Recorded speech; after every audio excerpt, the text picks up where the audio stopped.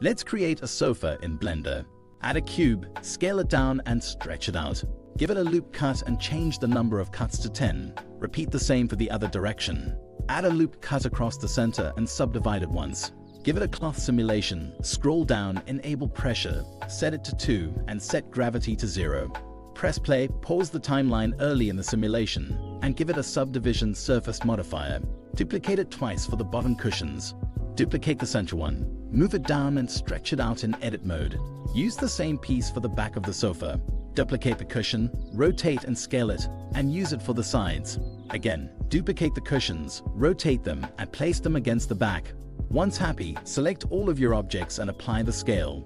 In sculpt mode, scroll down and use the cloth brush. Create subtle detail across all of your cushions for some added detail.